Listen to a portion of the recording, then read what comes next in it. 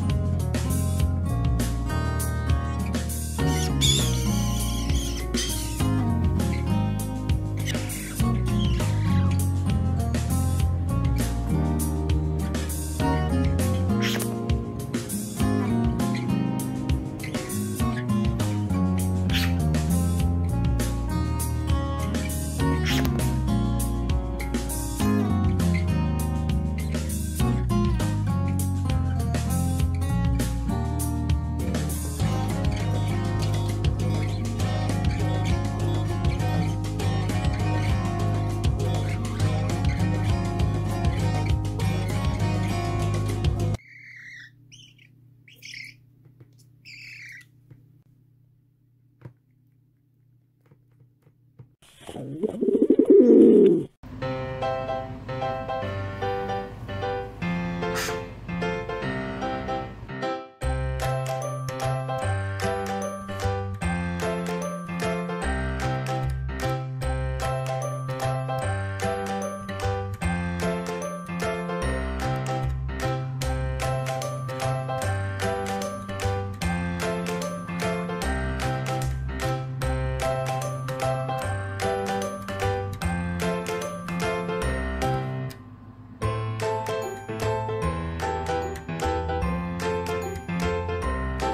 next.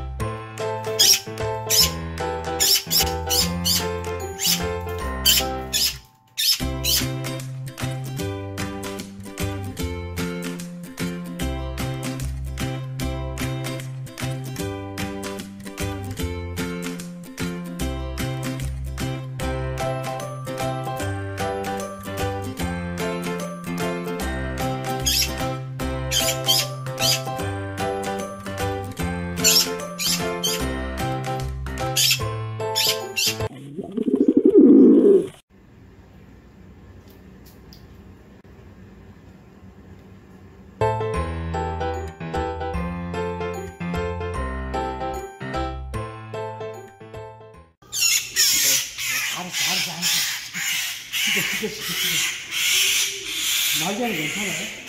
지금 예, 사- 전부 멀쩡합니다. 아, 예, 잘 재활시켜 주세요. 예. 요, 아, 이거요? 위에 여기다가 성명하고 사인만 좀 해주세요. 음, 네, 알겠습니다.